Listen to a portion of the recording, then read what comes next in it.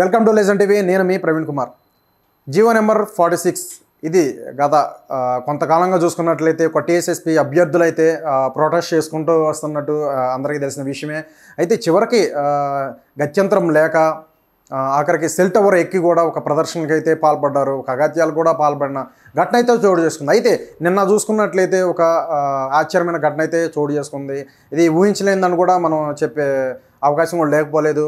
అయితే నిన్న కేసీఆర్ ఆ సూర్యాపేట ఒక సభ అయితే హాజరైన అందరికీ తెలిసిన విషయం. అయితే ఈ సభలో చూసుకున్నట్లయితే జీవో నెంబర్ ఫార్టీ సిక్స్ దానికి సంబంధించి ఒక ఫ్లకార్డ్తో ఒక ప్రజ ప్రదర్శన అయితే చేపట్టారు. తమకి న్యాయం చేయండి అంటూ కూడా పెద్ద నినాదాలు అయితే చేశారు. ఒక నిరసన సెగ అనేది ఇక్కడ కేసీఆర్కి అయితే నిన్న అయితే తగిలిందని చెప్పొచ్చు. అయితే గతంలో కూడా ఒక ఒక సభలో సంబంధించి కేటీఆర్ను కూడా కలిసి అయితే మొరపెట్టుకున్నారు. అలాగే మంత్రులను ఎమ్మెల్యేలు అందరూ కూడా అడిగారు. అయితే చివరికి ఎట్టి పరిస్థితుల్లో మరి తమకి న్యాయం జరగదని భావించి చివరికి సెల్ టవర్కి ఎక్కి కూడా పాల్పడినట్టు కూడా మనం గతంలో చూసాం. అయితే ఈ గత నలభై యాభై రోజుల పాటు జరిగిన ఒక నిరసనలో భాగం చూసుకున్నట్లయితే నిన్న ఆ సీఎం కేసీఆర్ ఒక సభల సూర్యాపేట సభలో చూసుకున్నట్లయితే విద్యార్థులు కొంతమంది విద్యార్థులు అయితే అక్కడ ఒక్కసారిగా అయితే ఒక సభలో జీవో నెంబర్ ఫార్టీ సిక్స్ నుంచి తమని టీఎస్పీసీ అభ్యర్థులు అయితే దీన్ని మినహాయించాలంటూ కూడా ఒక బోర్డ్స్తో ఒక ఫ్లకార్డ్స్తో అయితే ఒక ప్రదర్శన అయితే చేపట్టారు. మనం విజువల్స్లో మనం ఒకసారి చూడవచ్చు గమనించవచ్చు దీనికైతే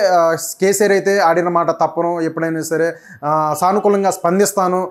విద్యార్థులందరూ కూడా అన్నట్టు కూడా ఒక హిం- హింట్ అయితే ఇవ్వడం జరిగింది. మరి ఎక్కడైతే అది విన్న వెంటనే ఇక్కడ ఉన్న విద్యార్థులు కూడా అందరూ కూడా ఆ, కేరింతలు కొట్టినట్టు కూడా ఎందుకంటే ఆనందంతో న్యాయం తమకి న్యాయం జరుగుతున్నట్టు కూడా ఇక్కడ అభిప్రాయం వ్యక్తం చేశారు. ఒక వారి మాటలతో విజువల్స్ ఒకసారి అయితే మనకు కనబడతా ఉంటుంది.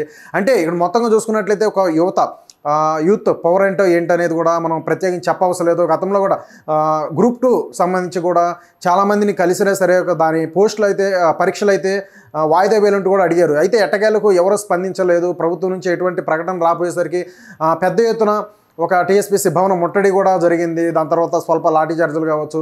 తర్వాత పెను వెంటనే ఇంకా మరి వేరే వేరో ఆ, నోటిఫికేషన్ ఇచ్చేసి ఇంకా వెంటనే నెక్స్ట్ నవంబర్లో ఇక దీని యొక్క ఎగ్జామ్స్ జరుగుతాయంటూ కూడా పోస్ట్ అనేది చేశారు. సో అక్కడ కూడా ఒక విద్యార్థులు అయితే విజయాన్ని అయితే చూశారు. ఇలాగే ఇక టీఎస్పీసీ సంబంధించి అభ్యర్థులు ఎక్కడ కూడా దీనికి సంబంధించి నిన్న అయితే ఒక నిరసన అయితే చేపట్టారు. ఒక సూర్యాపేటలో జరిగిన ఒక కేసీఆర్ వెళ్ళిన ఒక సభలో. మరి దీనికి సంబంధించి కేసీఆర్ కూడా మేము సానుకూలంగా స్పందిస్తామని ఒక మాట అయితే మరి ఇచ్చారు. మరి ప్రభుత్వం మరి జీవో నెంబర్ ఫార్టీ సిక్స్ నుండి టీఎస్పీఎస్పీ దీనికి సంబంధించింది మరి మినహాయిస్తారా లేదా అనేది ఒక మరి ఉత్కంఠంగా అనేది చెప్పవచ్చు మరి రెండు వేల పదహారు పద్దెనిమిది వాళ్ళ మెరిట్ ఆధారంగానే ఇక్కడ భర్తీ చేస్తారా? లేదంటే ఇలాగే కొనసాగిస్తారా? మరి లేదంటే జనాభా ప్రాతిపదిక మీదే ఎట్లాగే కంటిన్యూ చేస్తారా? మరి నిన్నైతే మరి కేసీఆర్ అయితే దీనికైతే మేము సానుకూలం స్పందించారు. మరి దీనికి సంబంధించి సమస్య అనేది మేము తీరుస్తాం అని ఒక భరోసా ఇచ్చినట్టు కూడా ఇక్కడైతే తెలుస్తుంది మరి.